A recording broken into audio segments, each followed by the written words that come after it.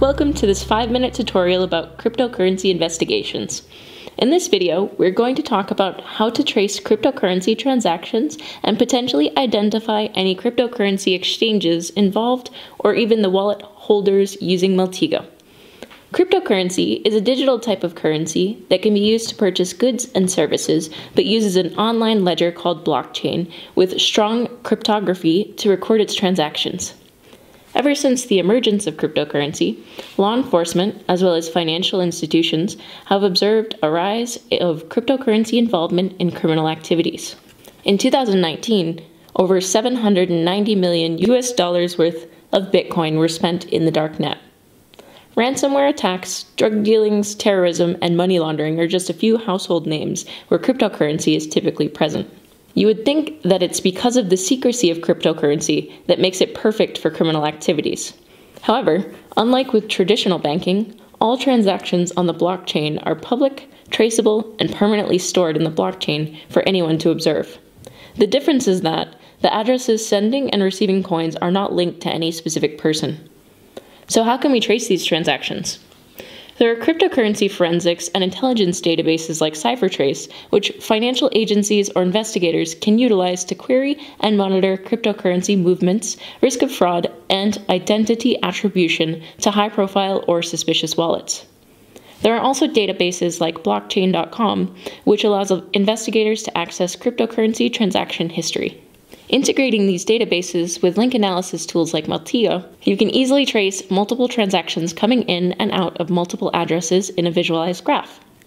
Take Bitcoin, for example. We start by extracting any Bitcoin address found in the HTML code of a phishing website, or pasting the known address we acquire from an email, social media post, or any sort of lead into Maltego.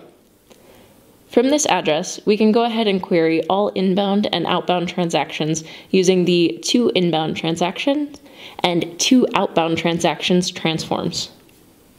The transactions will be mapped onto the Maltego graph with information like the amount of Bitcoin and date of transaction.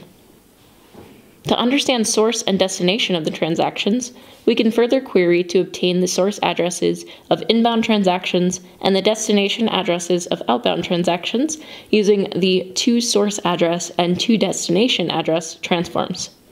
These address entities will include details like the number of transactions, total amount of received and sent Bitcoin, and the current final balance. Repeating this step, we can trace the movement of certain funds and identify patterns of illicit payment and money laundering by exploring and enriching the link analysis graph.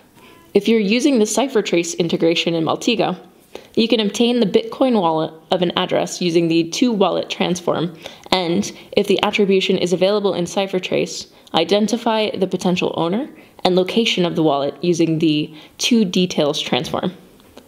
CipherTrace also provides risk score assessment that indicates whether an address or transaction has been involved in or associated with criminal entities or illicit activities.